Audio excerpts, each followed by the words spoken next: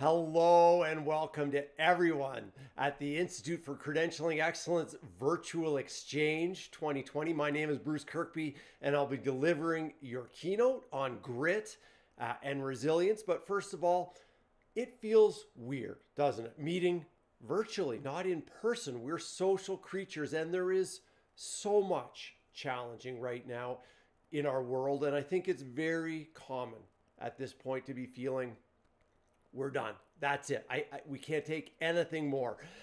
And that is so understandable, but that is also a very difficult, exposed, dangerous position for a team in the wilderness to be in because of course one more thing is going to happen, isn't it? So what I really want to talk to you about is regaining some sense of agency, of control, of power, I suppose, over this situation. And so I want to talk about what grit is, how it's different from grind, and most importantly, some simple, actionable items for you and your team and your organizations that can help put you in the driver's seat. I'll see you soon.